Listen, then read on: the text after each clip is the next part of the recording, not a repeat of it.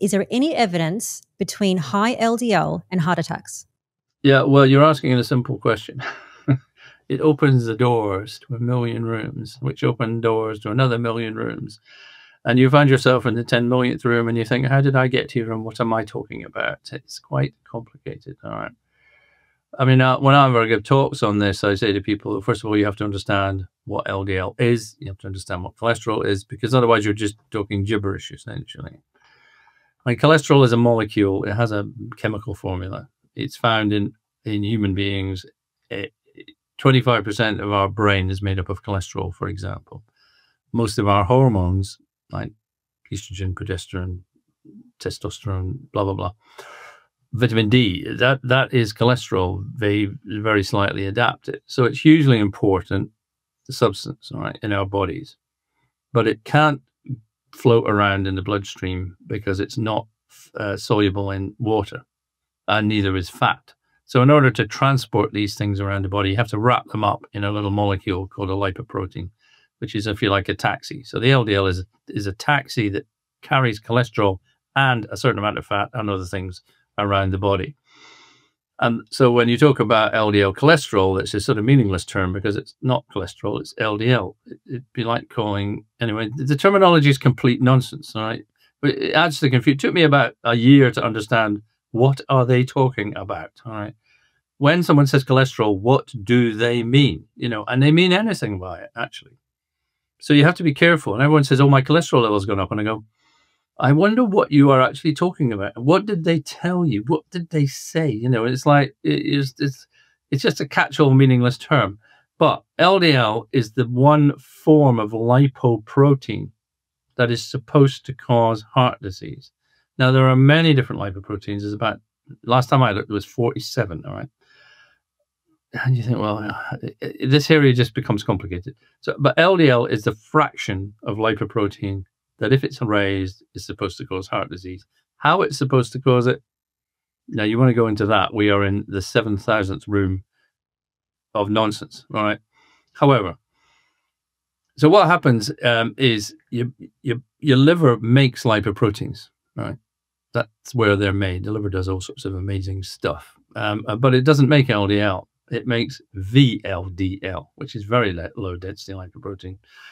And it packs fats and cholesterol into this within the liver and then it sends it out into the bloodstream. And then as it travels around the body, it loses its fat content mainly till it becomes more high, highly concentrated with cholesterol. And then about 98% of that is reabsorbed back into the liver. So there's a certain reserve that floats around in your blood all the time. Now, what makes your VLDL go up would be the interesting first question, right? And the answer to that is carbohydrates make your VLDL go up. Uh, why is that? Because if you have too many carbohydrates in your diet, your body can only store so many, and then it has to convert the carbohydrates into fats.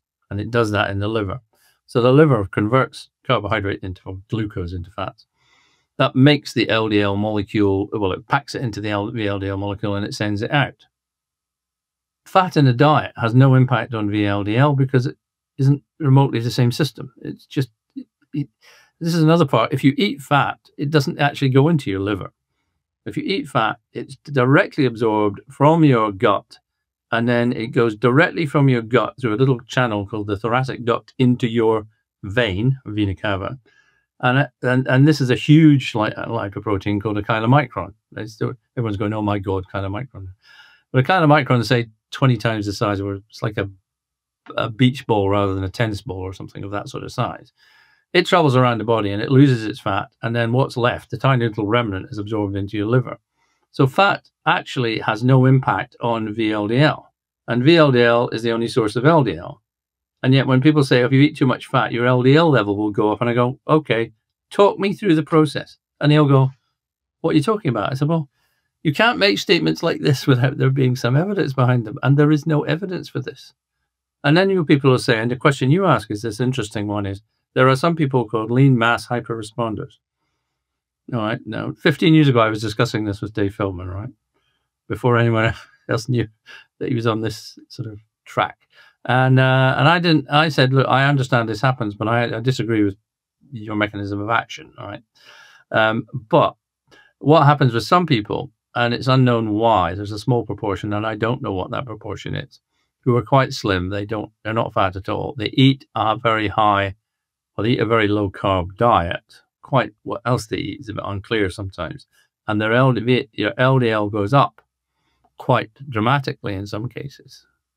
And then people might say, well, well, well, okay, so you're talking nonsense. So fat obviously does make your LDL go up. I said, I said, no. I said, that's it does, but it's not through any sort of mechanism you would you were thinking of, all right. But what's actually happening in this case is because most of the you're eating a high fat diet, the fat is just traveling through your body, getting absorbed by your cells that need it. It's not going into the liver at all, all right.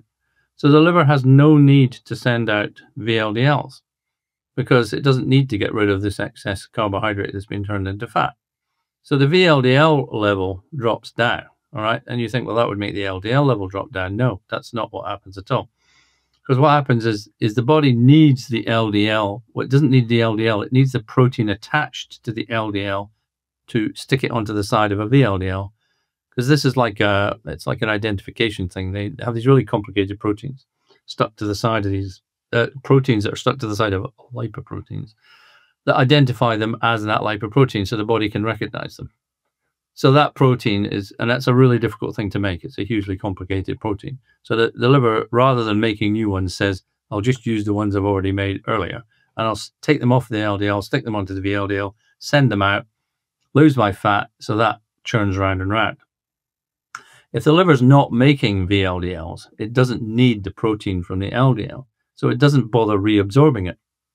So the LDL level goes up because the body's like, well, I don't need you, if you like, to make my VLDLs. And if that sounds complicated, I know when I say to people they start blanking over, I just say, look, take it, look at it this way. The, the reason why the LDL goes up is not because of the high fat intake. The reason why the LDL goes up is because of the low carbohydrate intake. Right? It's the exact opposite thing. That's why it's going up. And then people say, oh, but that leads to high LDL. So that means that if you don't eat carbohydrates, then you'll you'll die of heart disease. no. It's like no. And they've done they've done the recent studies on people to say, is there evidence that if you have these lean mass hyperresponders and their LDLs are going up like threefold, say from five to fifteen or whatever it is, or three to nine or whatever that level is, has does that have any measurable effect on the progression of the disease in the arteries that we call heart disease? And the answer is no.